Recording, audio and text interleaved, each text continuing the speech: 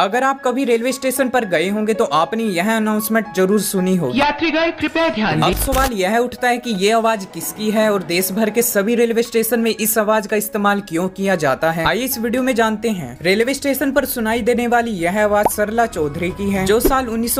में रेलवे में दैनिक मजदूरी के आधार पर शामिल हुई इनकी आवाज ने लोगो आरोप इतना जादू कर दिया की यात्री आवाज को ध्यान ऐसी सुनने लगे और इसके बाद उन्नीस में देश भर के सभी रेलवे स्टेशन आरोप सरला चौधरी की प्री रिकॉर्डेड आवाज़ का इस्तेमाल